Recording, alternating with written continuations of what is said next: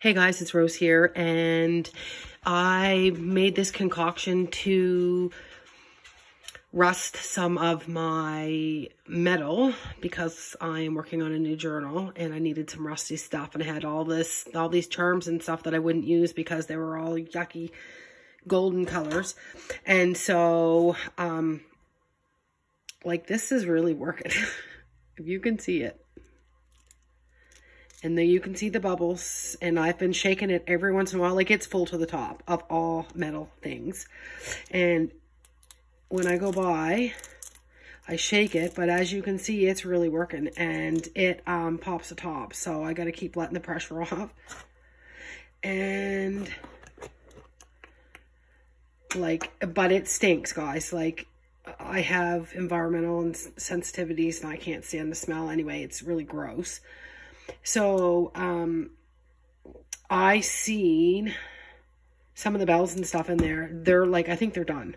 So I don't want them to completely be eaten. So I'm going to save the stuff because some of the metal that isn't finished, I'm going to put it back in. Um, that's why I'm going to save it. If I can even get it out. Some of it. Oh my gosh, look. it's like jam-packed. Um, it's just not coming out.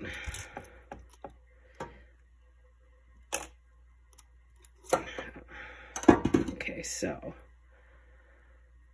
it's it like it really stinks. It's peroxide, so and like yuck. So if I like if I like the way it looks, then I'm going to rinse it off because rinsing it off stops it. And let's just see. So that's kind of what it looks like. And I know, I know you guys can barely see it, but it, I mean, it is rusty. Some of it. Um, I think I'm going to keep, I'm going to put it back in. But I just want to check some of the stuff like that is done. Like, to me, that's good. Um, but, like, it's jam-packed. And some of the little stuff, I just don't... Oh, wow. Oh, my gosh. Some of the little stuff, I don't... So, there's... Oh, my gosh. I'm so excited. So, there's an acorn. I'm probably making everybody sick. There's an acorn charm in a leaf. In an oak leaf. Can you guys see that? And it's done. Oh my goodness. So I'm going to keep going. I can't believe I'm touching this stuff. Like it's jam-packed. Once I started finding stuff, I just shoved it all in. Like that's done. But I got to get these things out. But I just want to show you guys how easy it is. There's, there's one of Tim Holtz's uh, you know, tags or plates, whatever it is.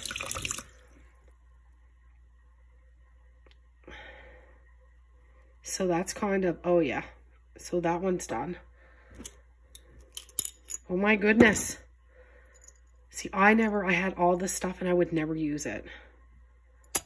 Because it was just not the right colors. Like, I wanted old and grungy.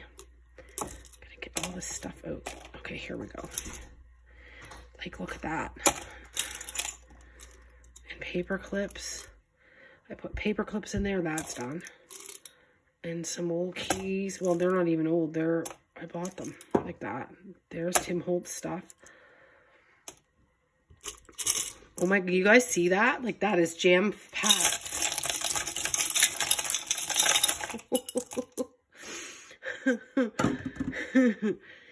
and look, there's the thing off of tin cans.